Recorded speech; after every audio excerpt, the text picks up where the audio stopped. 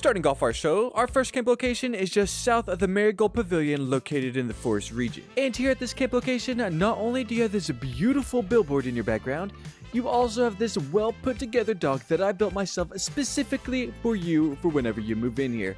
Look at this magnificent dock with your water resource. Oh my god, that's so amazing.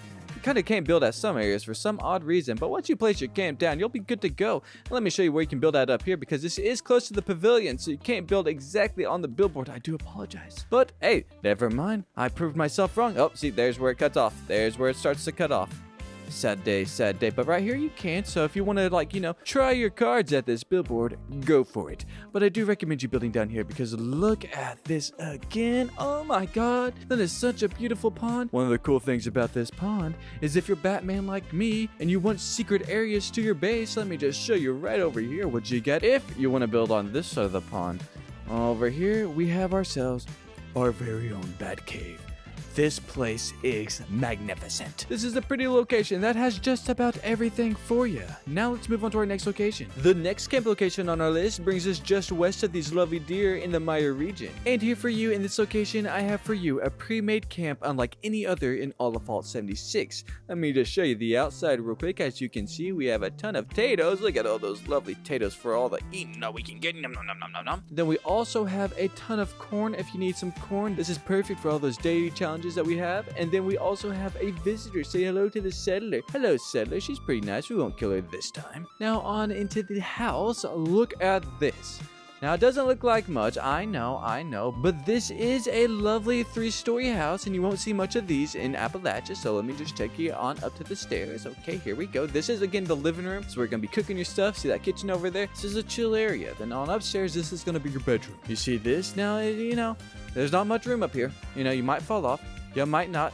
Who knows? Throw a bedroll right there. Now we'll continue to go up. The reason I say don't put your bed up here is because, well, we have a little tea party going on and uh, you don't want to interrupt anything like that. But this is the house part of it. But let me show you what else you can do with this camp location because I was just joshing you. Though that place does look amazing, that's not the main attraction of this camp whatsoever looky here. Yes, we have ourselves a hidden bunker. This thing is absolutely amazing and beautiful and all sorts of things. Look at this. We do have two red roaches in here, but they're easy peasy to kill, so just uh, grab your gun and shoot them. But look at this. Holy cow.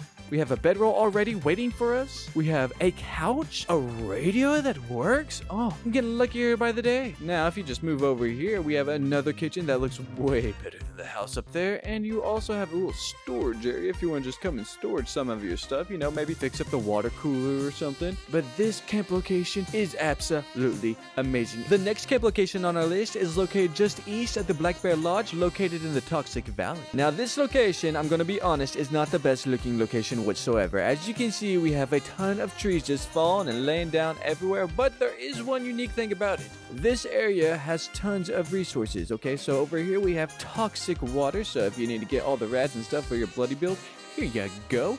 Then over here, we have a junk resource spot. Now that's absolutely amazing because you can farm a ton of types of junk through that. And then also right up the hill, just right up here, which you can put into both of your camps we have a lead farm. So this location is fantastic. If you're needing all those resources and you're one of those people that are just like, oh my god, oh my god, I'm struggling so much with my resources, right? Or if you just want to sell resources, this is a fantastic location. And again, it's right here, right next to Crater, so you're going to be getting a ton of traction. The next camp location on our list is just southwest of the Tyler County Dirt Track located in the Forest region. And here for you, I have a small little farm again, but at this location, you gotta be careful where you place your little camp because if you get too close to that little dirt track over there, uh, it turns red, sadly. But uh, if you build over here, you can still go farm over there and build inside that little area over there. You just can't, you know, place your camp over here, sadly. As you can see, again, it turns red. But over here, we have some corn that you can harvest on the daily if you need to. We have wood over here, which you can harvest on the daily or however long it takes for it to respawn. You can come and harvest all the time you want. We have another lovely settler. Whoa, whoa, whoa, whoa. Don't chop my little wood. Okay, okay, that's for me. Don't attack me either. Then over here,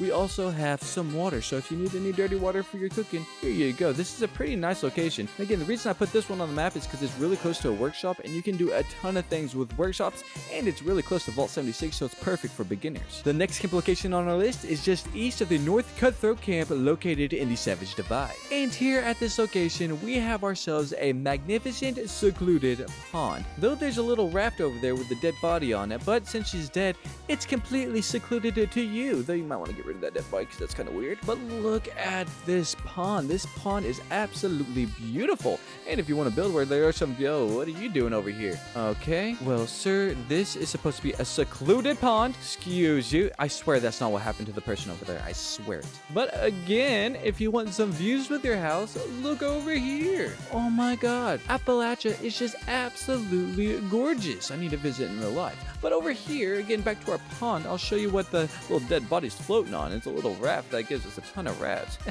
it's pretty cool, honestly. Look at that. I wish we could build something like that ourselves. But yeah, I'm pretty sure the rads is what killed her, not the uh, guy over there that I just completely murdered. But you can build anywhere you want on this pond. If you want to build where this lady is, go for it. Or if you want to build over here where the views are, I definitely recommend this more because, you know, you don't want to get all the rads every time you wake up. But yeah, this is a beautiful location. If you enjoy videos like this and you want to see more, I also made a video over one of the strongest rifles in all of Vault 76. If you want to check it out, I'll link it in the screen right now. You see that? That is one of the highest hitting damage rifles in all of Fallout 76.